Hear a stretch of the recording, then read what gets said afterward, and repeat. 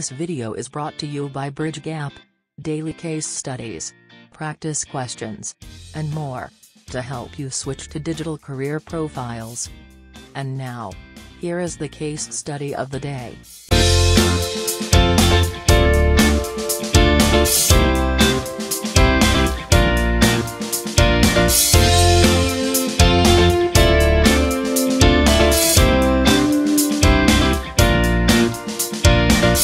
Okay, so this is a website uh, for the case study, and uh, what needs to be done is that uh, you have to give a proposal to redesign uh, this website, and for that, you need to understand what is the scope, right? What are the various things which come, which will play a factor when you're giving uh, when you're giving uh, the proposal for the redesign for this website. Now, on in in the first look, there are some things uh, which come to mind, which is that okay, uh, there's some things like the GST number need not be written up front here, and these are this is a little old style of showing the images.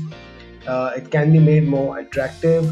Uh, these buttons which are here can be made more attractive but you know you need to have a formal uh, and and also things like mobile you know on the mobile it, it would not look uh, so mobile friendly but you need to have a you need to have a formal structure like a like a set of things that um, you ask the client uh, so that you can uh, completely be sure about the scope of the website revamp and which will uh, help you to de- determine the pricing.